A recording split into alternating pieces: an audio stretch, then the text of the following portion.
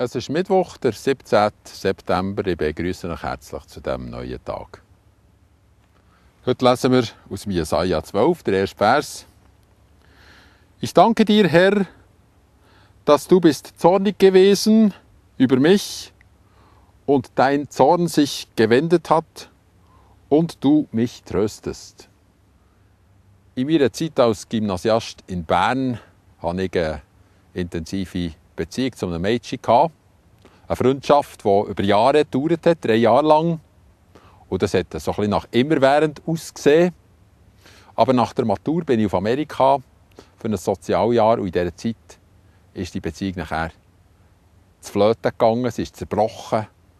Als ich heimkam, waren nur noch Trümmer und ich habe schon in dieser Zeit gemerkt, schon in Amerika selber, welches das der falsche Baustein ist. Es hat gute Bausteine gehabt und schlechte, aber der schlechteste war die Eifersucht.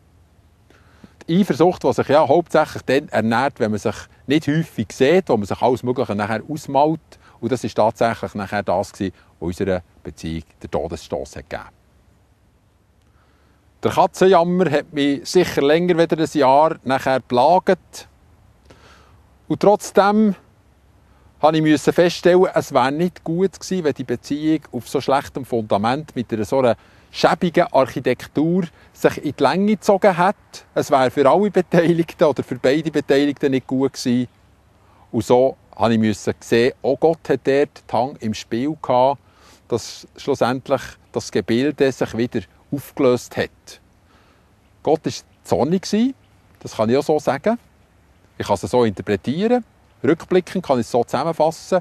Er hat das so nicht gesehen und er hat es beendet. Er hat etwas Besseres wollen für mich und sicher auch für sie.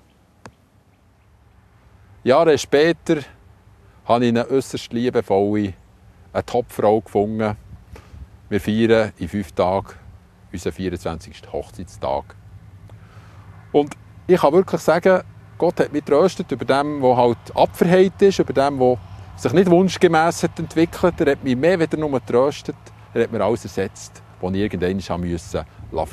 Und das Interessante an diesem Losungswort ist, der Jesaja fasst beides zusammen in den Dank. Er dankt Gott, dass er ihn von schlechten Wegen oder von nicht guter Architektur von seinem Leben weggebracht dass er die harte Hang von Gott einmal hat zu spüren bekommen und dass das dann am besten dient hat, nämlich einer noch besseren Ausgangslage, einer noch besseren Perspektive, einer noch besseren Lösung. Das sind so Sachen, die du und ich erleben. Zwischen ihnen steckt man mal ein. Zwischen ihnen erlebt man die unzimperliche Seite von unserem Gott, die harte Hang. Aber interessanterweise kommen wir nicht zum Schluss, Gott ist autoritär.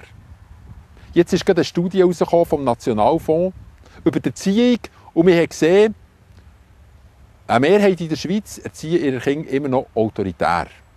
Aber nicht, dass das gute Früchte trägt, sondern wir haben die Studie gemacht, um zu schauen, warum sind die Leute so aggressiv, warum ist die Jugend zunehmend aggressiv, ist zurückzuführen auf den ersten Teil unserer Losung, nämlich, dass da auch ein harter Hang führt. Dass man einfach sagt, wo Bartli der Most holt, was der Tarif ist, etc.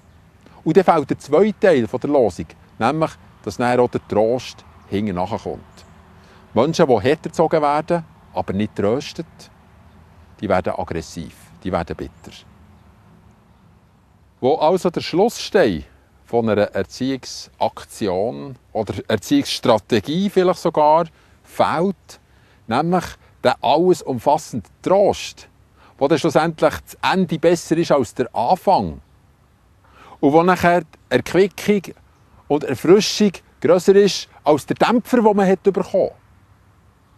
Wo das fehlt, ist man mit in der autoritären Welt inne, wo Ruinen hinterlässt, verbitterte Menschen. Aber das Schöne an dieser Perspektive, die jetzt das Neue Testament zum Ausdruck bringt, ist der Überschuss an Trost und an Liebe, der am Schluss die Rechnung ausmacht. Es ist desto reicher geworden die Gnade unseres Herrn samt dem Glauben und der Liebe, die in Christus Jesus ist. Ich wünsche euch einen schönen Tag.